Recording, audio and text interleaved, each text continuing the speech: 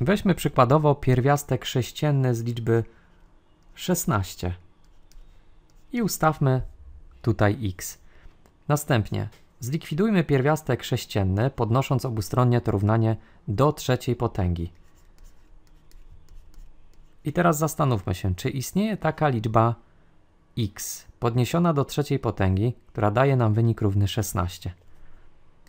Jeśli nie jesteśmy pewni odpowiedzi, to możemy szesnastkę rozbić na czynniki pierwsze. O, w ten sposób.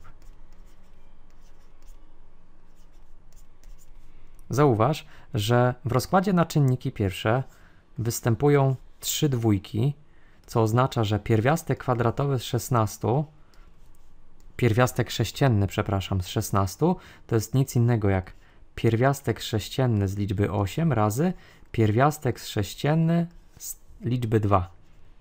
Pierwiastek sześcienny z liczby 8 to 2 i do tego dostawiamy pierwiastek sześcienny z liczby 2, co ostatecznie daje nam taki wynik. To jest pierwiastek sześcienny z liczby 16. Ta liczba jest niewymierna. A to będzie oznaczało, że pierwiastek sześcienny z liczby 16 też jest liczbą niewymierną. Więc to jest liczba niewymierna i to jest liczba niewymierna. Pierwiastek sześcienny z liczby 1 to liczba wymierna, ponieważ jedynkę wystarczy podnieść do trzeciej potęgi, aby otrzymać jedynkę spod pierwiastka.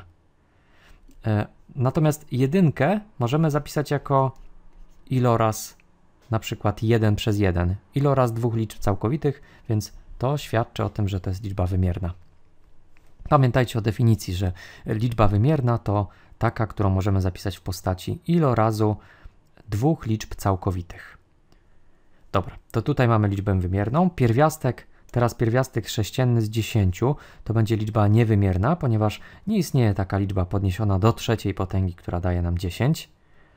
Pierwiastek sześcienny z liczby 25 identyczna sytuacja, natomiast pierwiastek sześcienny z liczby 27 to jest 3, bo 3 do trzeciej daje nam 27, więc jest to liczba wymierna.